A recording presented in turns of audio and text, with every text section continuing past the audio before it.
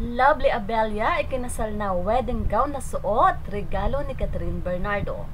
Hello mga ka-SCIS! Lubos ang pasasalamat ni Lovely Abelia kay Catherine Bernardo. Napakabuti ng puso mo. Ito ang sinabi nito nang mag-post ng larawan at kasama nga ang pasasalamat na mensahe para kay Catherine. Sila Babelia ay naging magkaibigan nang magsama sila sa movie na Hello Love Goodbye. Dito nagsimulang makilala nila ang nang husto ang isa't isa. At simula nga nun, puring-puring na ni Love ang ugali ni Catherine. Magkaiba man sila ng network pero nang matapos ang kanilang movie ay hindi ito hadlang para maputol ang kanilang komunikasyon. Ikinasal na nga si Love sa kanyang BF at ang suot niyang wedding gown ay regalo ni Catherine. Kaya naman, ganun na lang ang pasasalamat ni Love. Narito ang kanyang mensahe. Heto muna ang ipopost ko before anything else. Grabe pala ang bashers, no? Dito sa bungat na ito ay tila meron pong bashers, no? Na tungkol dun sa isinuot na na gown. So, ito nga ang sabi niya, nadudurog ng puso Di mo alam kung sino at anong klaseng tao sila para manghusga.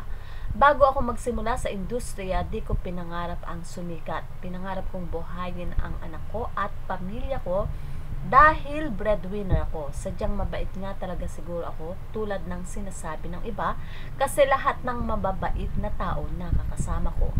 Siguro hindi ko hinayaang itago kung ano ang pagkatao ko.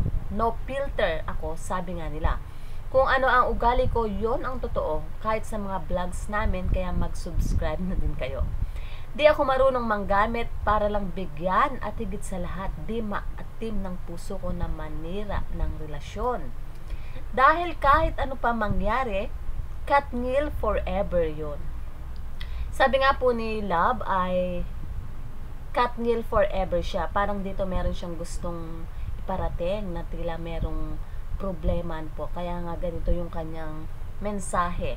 At sa pagpapatuloy, sabi ni Lab, kahapon nang nakita ko sila, kinilig ako. Salamat Bal at may at may ga sa pagpunta. Uh, umaten po itong si Catherine at si Daniel sa wedding nga nitong si Lab. At sa pagpapatuloy pa rin ng kanyang message, okay, heto na.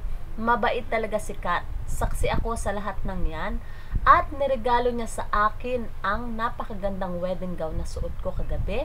Nagawa nga ni Steptan Couture. Sabi nga, sabi ko may ga, wag na ako na. Pero sabi niya, regalo daw niya. So yun nga po, ang sunod po na wedding gown nitong silab ay kay Catherine nga po nang galing at ito nga po yung regalo ni Kat sa kanya. Kaya nga po itong sikat, itong si, si Love ay tuwang-tuwa at sa pagpapatuloy pa rin uh, wag tayong tumanggi sa blessing. Yan ang natutunan ko.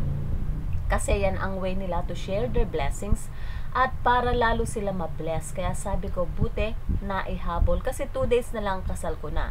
Di ko kailangan magpaliwanag sa inyo, pero gusto ko lang sabihin na tulad ninyo, tao din kami. Nasasaktan sa panghuhusga nyo. Masakit, pero siguro nga kailangan tanggapin dahil nasa industriya ako. Pero wag kayong ganon di nyo alam ang mga kwento, kaya huwag kayong manghusga. Saksi ang aking mga kaibigan na sina Pernella Gonzaga at Kelly Harris kung gaano ako inaalagaan ni Kat para gumanda ako sa mismong kasal ko. Very generous po si Catherine.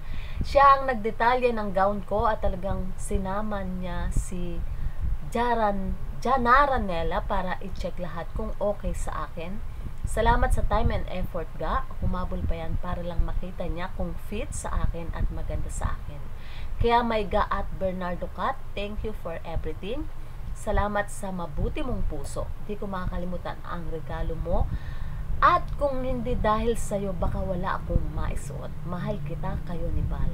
Hashtag manalo na siga. Hashtag Menly 4. Di ko alam anong nangyari but on behalf of Katnil, congrats God, deserve mo na maging friend si Kat. Dito lang kami para sa iyo. Isa nga po yan sa mensahe ng isa sa mga fans po ng Katnil. At dito nga parang nagkaroon po ng problema, no? Pero hindi naman po ito dinirekta ni Love. Kundi ang binigyan niya ng punto sa kanyang mensahe ay ang pasasalamat niya kay Catherine Bernardo dahil napakalaking bahagi sa kanyang napaka-special na buhay ang ginawa nga po ni Catherine at talaga namang makikita natin kung gaano siya ka-generous.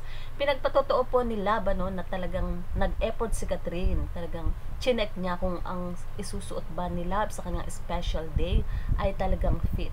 So yan nga po at kahit anong mangyari, kahit parang lumalabas na di natin alam kung ang tinutukoy dito ni Love ay nanggagamit lang siya or fake na fan siya ng Katnil, ay well, na bigyan po natin ng katarungan ano dahil ito naman si Love ay talagang mabait. At syempre hindi naman siya mamahalin ni Catherine kung hindi naman po deserve na maging tunay na kaibigan itong si Love.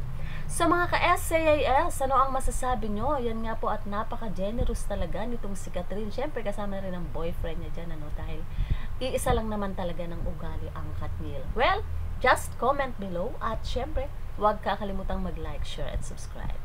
At hanggang sa muli, lagi ko pong paalala, ingat ang lahat. God bless everyone.